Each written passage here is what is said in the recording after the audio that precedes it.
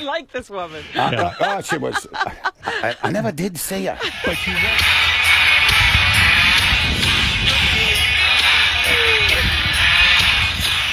You missed it.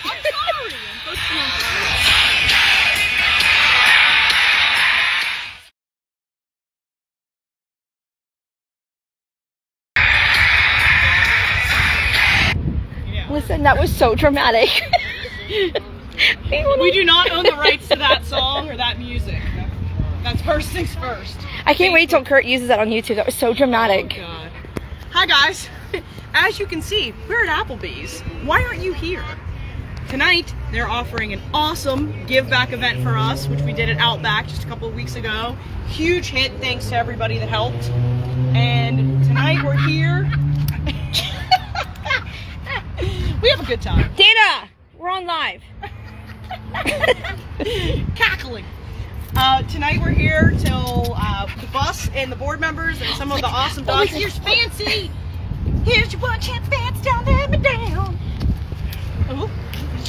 Okay, Um, what time? Yeah, so we are here till 8, but they're going to run this special for us till 11 o'clock tonight. If you come in, dine in, or take out, you have to order from the specialty menu. There's five awesome things on there for everybody bacon cheeseburger, a chicken Caesar salad, a Key West lime chicken, which is awesome. That probably get into bruschetta that. chicken penne pasta. That's yeah, delicious. the chicken penne Three cheese. pasta, three cheese, and uh, the chicken fingers, I believe, and fries are all on this are all on this specialty menu. You order off of that menu, and we will get fifty percent of the proceeds. Huge. Extreme close up. Whoa! Whoa!